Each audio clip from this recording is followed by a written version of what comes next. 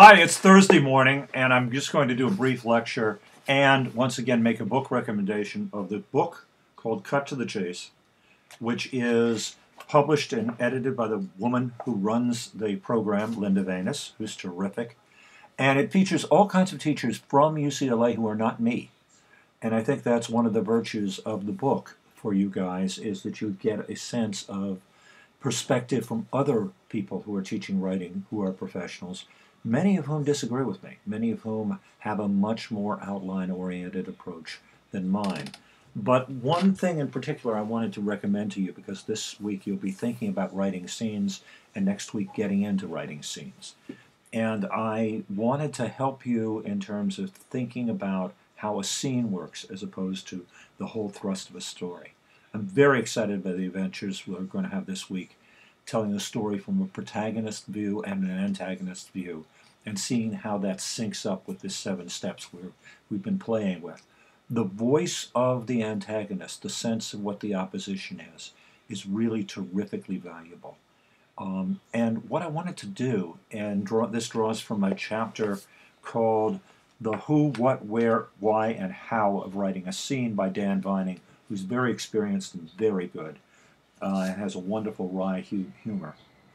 But he talks about how something that I mention in another way um, when I talk about Mamet's three questions and how those three questions apply to a whole story as well as to a scene.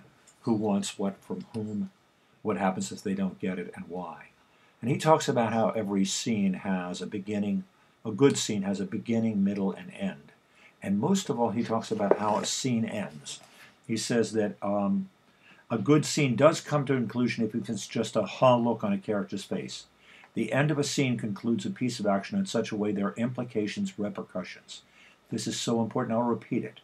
The end of a scene concludes a piece of action in such a way that there are implications and repercussions.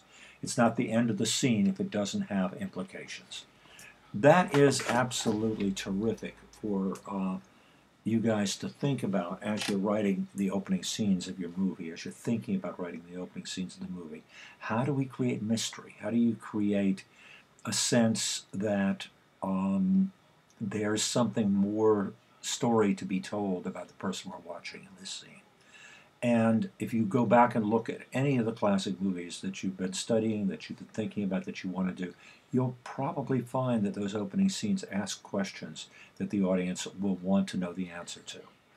Um, and set, it, set up an intriguing way to look at a character. And it's almost that simple. If you think of a scene as having a beginning, middle, and an end, and at the end, we get implications that the character is going to be doing something surprising or going to face something surprising, then it's much, much better than a scene that just illustrates that somebody is happy or unhappy, that someone is content, that someone is um, you know, getting on an airplane and little do they know uh, there is a bomb on the airplane. If you think of Die Hard, for example, Die Hard is about a man who's coming back to try to engineer a reunion with his wife.